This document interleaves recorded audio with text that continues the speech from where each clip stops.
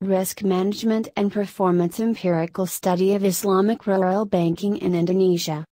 This article is written by Sutrisno.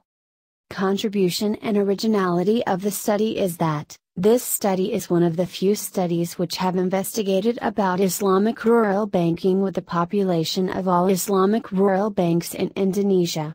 Generally, the other studies are conducted to one Islamic rural banking or one region only. Meanwhile, this study conducts to all of the Islamic rural bank in Indonesia.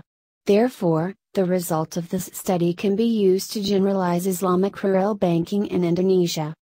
Banking is an institution which has its operations highly regulated by the government, thus, the management must be able to manage risks.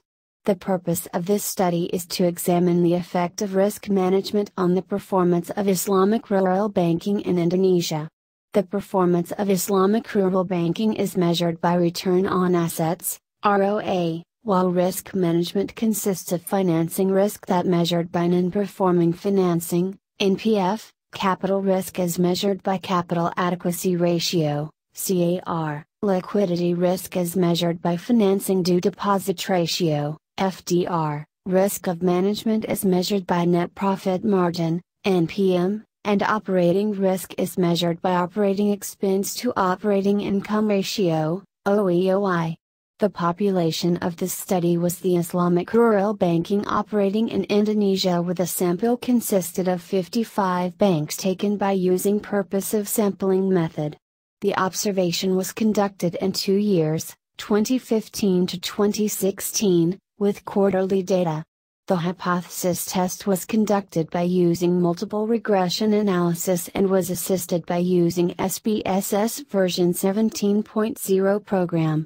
The results shows that financing risk, NPF, and operating risk, OEOI, had a negative and significant effect on bank performance, while liquidity risk, FDR, and risk of management, NPM, had a positive and significant effect on bank performance.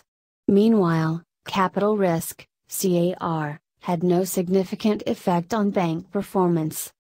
Thanks for watching this abstract video of Asian Economic and Financial Review Volume 7 Issue Number 12.